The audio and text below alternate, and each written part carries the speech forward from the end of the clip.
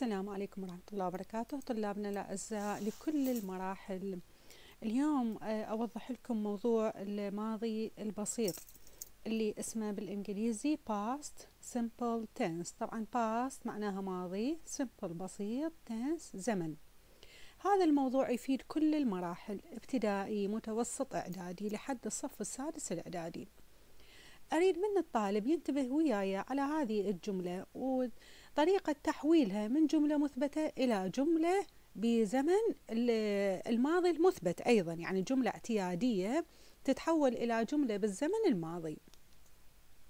الجملة الاعتيادية بالإنجليزي تبدأ بال subject اللي أقصد به الفاعل. طبعا وضروري طلابنا الأعزاء تعرفون اسم القاعدة بالإنجليزي يعني ال subject الفاعل ال verb الفعل object مفعول به. والكمبلمنت تكملة. أنت طالب علم لازم هذه المعلومات تكون موجودة عندك. فالفاعل بالإنجليزي يتصدر جملة اللغة الإنجليزية. حتى تتكون عندك جملة ماضي. هذا الفاعل باقي.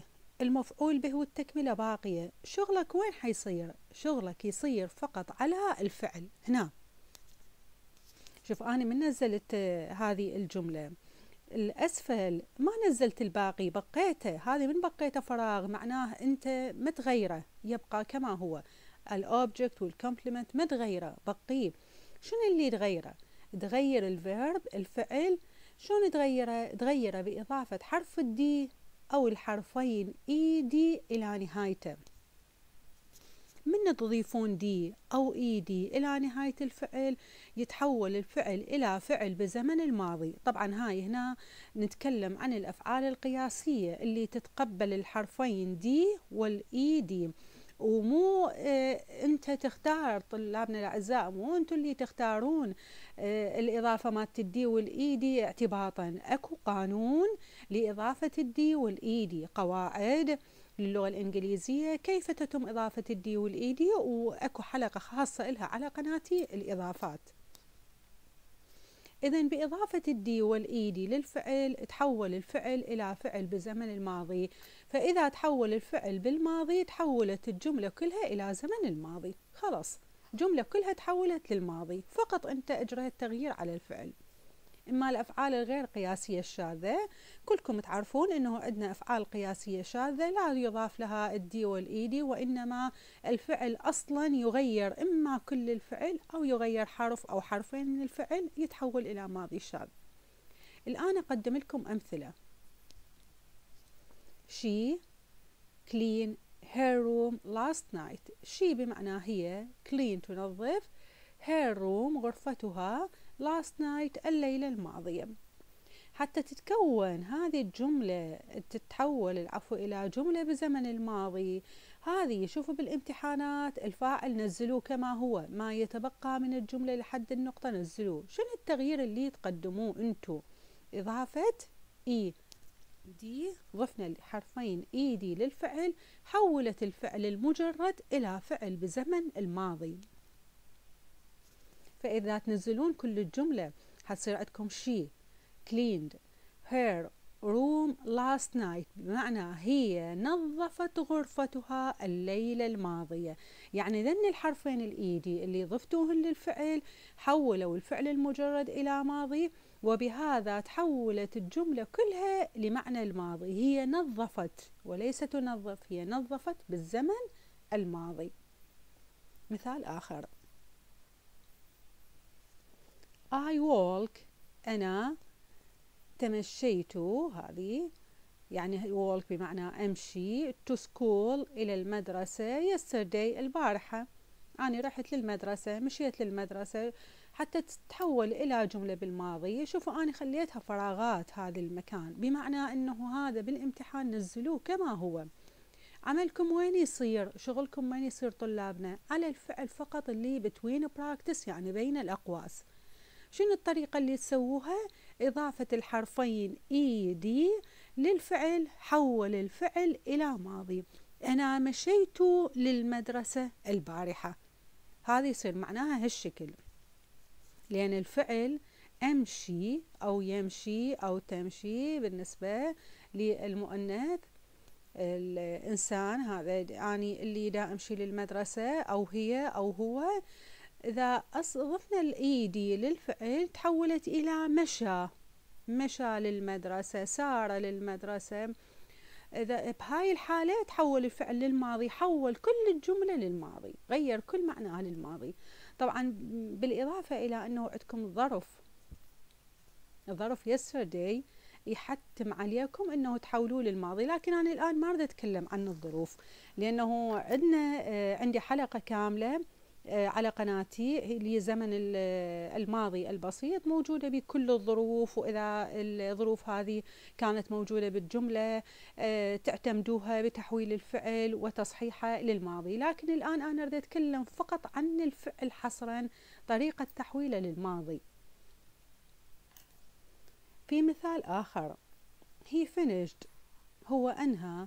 His homework يعني واجبه البيتي a moment ago من لحظة سابقة. طبعا a moment ago اللحظة السابقة أو الماضية.